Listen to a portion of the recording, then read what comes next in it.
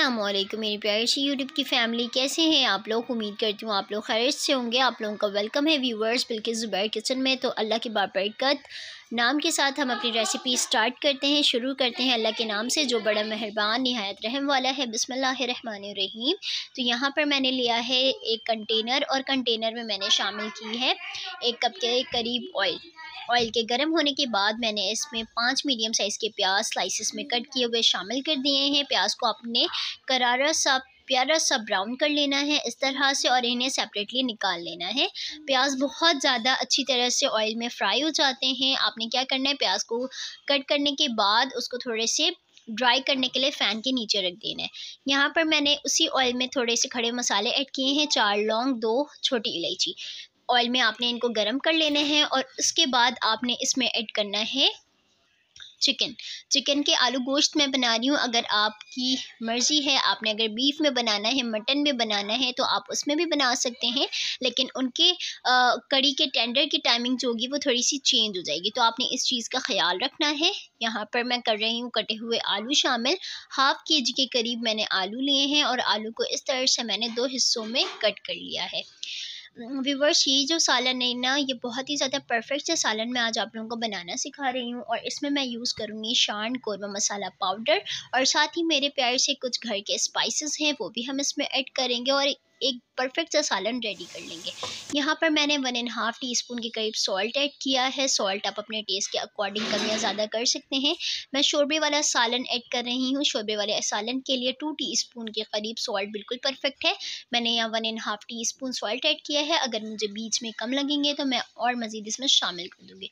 और यहाँ पर प्याज कुछ इस तरह से ब्राउन हुए हैं। थोड़े से करारे क्रिस्पी और यहाँ पर चिकन का कलर तकरीबन थोड़ा सा चेंज हो गया है और आलू को चिक आलू चिकन दोनों को मैंने ऑयल में बहुत अच्छी तरह से फ्राई किए हैं और इसमें मैंने स्टार्ट में नमक इसलिए ऐड किया था ताकि आलू और गोश्त में नमक अच्छी तरह से बिल्कुल रज बस जाएँ। तो आपने स्टार्ट में ही सॉल्ट का ऐड कर लेना है।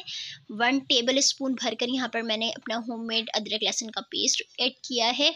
अगर आप रेडीमेड अदरक लहसुन का पेस्ट इस्तेमाल करते हैं तो आप वो भी कर सकते हैं। इसके अलावा अगर आपके पास अदरक लहसुन पाउडर है तो आप उसका भी ऐड कर सकते हैं। लेकिन घर के जो फ्रेश अदरक लहसुन की बात होती है, वो डिफरेंट होती है। तो यहाँ पर प्याज, यहाँ पर आलू और गोश्त का कलर बहुत अच्छी तरह से चेंज हो गया है और अच्छी तरह से ऑयल में फ्राई हो गए हैं। इसमें मैंने चार मीडियम साइज़ के टमाटर कट करके शामिल किए हैं और स्टीम में ही टमाटरों को बहुत अच्छी तरह मैंने गला लिया है। दो बेसिक से मैंने मसाले लिए हैं। दो बेसिक मसालों में आपके आ जाते हैं। यहाँ पर मैंने रेड चिली पाउडर लिया है और हल्दी पाउडर ये दो बेसिक घर के हमारे मसाले होते हैं, जो आपने आलू गोश्त में ऐड करने होते हैं। और यहाँ पर आलू और चिकन और टमाटर बहुत अच्छी तरह से हल हो गए हैं। तो यहाँ पर जब ये अच्छी तरह से डिज़ोल्व हो जाएँ तो आपने क्या करना है? यहाँ पर बेसिक मसाले ऐड कर देने हैं।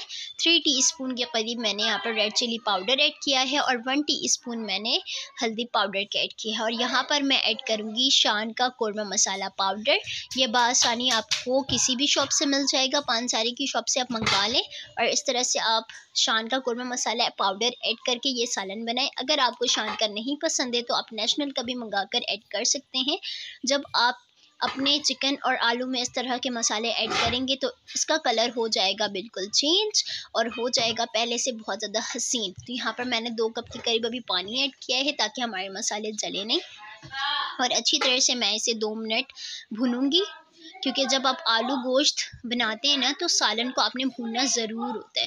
तो यहाँ पर मैंने पानी डाल दिए हैं, दो गिलास के करीब, और आलू और गोश्त को मैंने गलने के लिए रख दिया है। और अब बारी है प्याज की।